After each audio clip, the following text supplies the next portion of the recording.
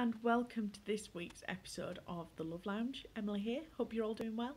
Um, this week we are focusing on a question that Mick and I get asked quite a lot in The Love Lounge, and Mick has put together some brilliant answers for a lot of people on this subject. So I thought, why not make this into a bit of a video itself? And the subject is losing feeling and or function in your genital area. Um, and the kind of worry and stress and often you know let's be honest sadness that that brings for a lot of people when it comes to sex and relationships. And Mick's given a few brilliant tips that I thought I'd I'd put together here so we can have a bit of a top tips video on it as well. So the first thing that Mick say, has said to people when talking about this is first of all go and get checked out by a GP you know we call ourselves very purposefully the non-experts experts although we've both got experience in certain things, we are not medical professionals, um, and sometimes losing feeling or function can be a sign of something like uh, the spinal area needing attention or possibly surgery.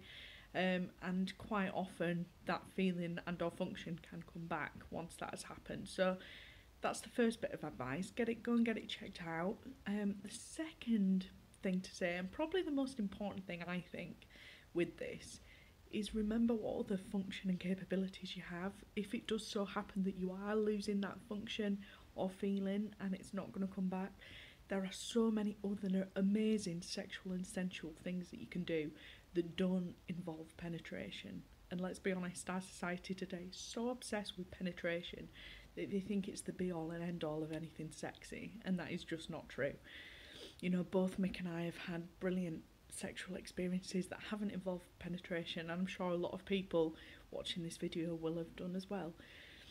And the last thing, Mick is the expert in this, not me, um, but Mick talks a lot about remapping your erogenous zones. You know, if you still want to experience orgasm, you don't have to do that through your genitals. You can remap you that pleasurable experience to a different part of your body.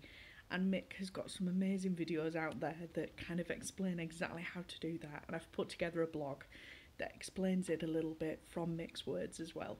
So I hope that helps, guys. And I will speak to you next week. Have a good one. Bye.